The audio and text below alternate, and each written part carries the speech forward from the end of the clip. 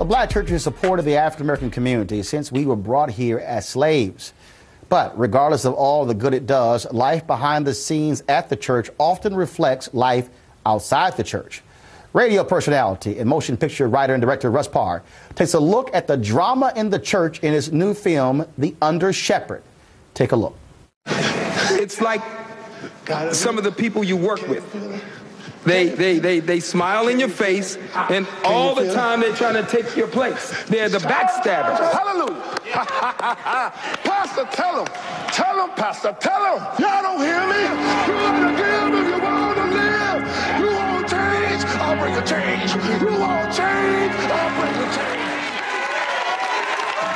If we can stop yelling in the hallway and just tell me what the problem is because I really don't know what the problem is. Now wait. Just stop. I want something done about this young man, and I want something done now. Can we, can we, can we table, can, can we table? Sister Roberts, you look absolutely breathtaking today. How are you doing? I'm fine. Good stuff, huh? We're joined now by Russ Parr. Russ, welcome back to the show. It's great to be here. Uh, man, well, first of all, um, what led you, you've done other movies, what led you to say, I really want to look at the drama in the black church?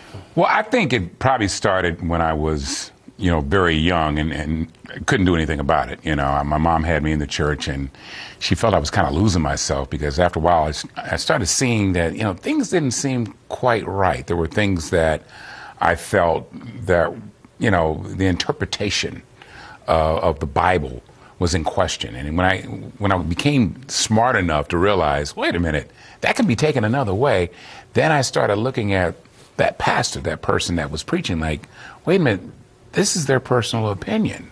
And people make life decisions based on what this individual says. But I think one of the things that really uh, made me write this movie.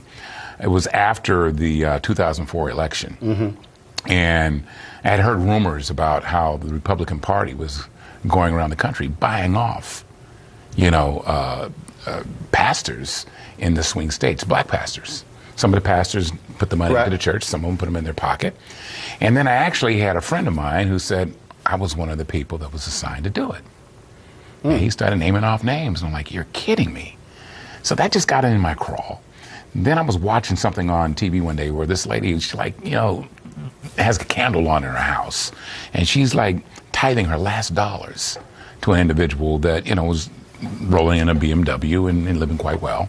And I'm like, I, I don't quite understand how you could take that individual's money. And so it made me start looking at some of these pastors because this is not an indictment of all pastors. Right. This is I mean, an but, indictment. but, but bottom of some this, is, people out this is a movie. Yeah. And so uh, you've had pastors who've gotten in trouble. You've had a lot of churches who do a lot of great stuff. Right. I mean, at the end of the day, it, it's a movie. I mean, that's Exactly. what it is. And Exactly. so it, it's, a, it's a reflection from, uh, from your point of view. Mm-hmm. Uh, now, you, you've taken this movie to film festivals all across the country Right. and have gotten a great reaction from folks Yeah. who saw it. Yeah, I mean, we, we kind of swept a lot of awards in, in a lot of these film festivals, uh, but I, I had some pushback from Hollywood, you know, because they don't really want to deal with either either they didn't like the movie or they just didn't want to deal with you know, the subject matter. But you also, you also had some pushback from some pastors. Uh, yeah, I had a Well, you few. showed that- it too. Yeah, they uh, actually invited some to my home, and, and they were literally uh, almost cussing me out of my house because they felt this was a bad time to show this movie, and you're just trying to make money. I'm not making any money off this movie. As a matter of fact, I took an L. They also got one hell of a cast. Yeah, um, you know, to get Isaiah Washington was incredible. I, the way he tapped into the to, to the character, I Right. found myself the first day shooting him, watching him and forgetting to direct everybody else because he was he was phenomenal. I mean, I and Right. it- that's I'm biased because you know this man took my words and just took it to another level. So you got Isaiah, Elise Neal. Yeah, Lou Gossett Jr., um, Bill Cobbs, Melinda Williams, uh, who won Best Actress at the ABFF in, in Miami. Um, I, I've, I've got Vanessa Bell Calloway.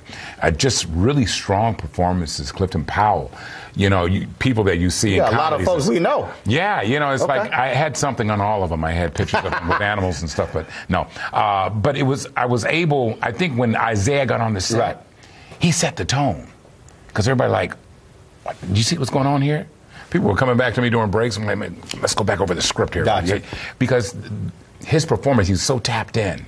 It just blew everybody away. Okay. Well, we look forward to it, Russ, man. We appreciate it. Right. Uh, and folks, uh, also tune in to the world premiere of The Undershepherd on Saturday, March 30th at 8 p.m. Eastern, right here on TV One. Uh, we got a bunch of stuff that night. Of course, we're going to be airing "Woman Thou Art Loose" from Bishop T.D. Jakes at 5 o'clock. At 7, with a Washington Watch uh, special called "Amazing Grace: Drama in the Church," and we'll profile three pastors who have faced crisis in their ministries and survived to be even stronger on the other side. So it'll be a powerful evening. You don't want to miss it. Amazing Grace at 7 and on the Undershepherd at 8. Trust me, you don't want to miss it. Russ, we appreciate it. Thanks Thank you for having me. Appreciate it.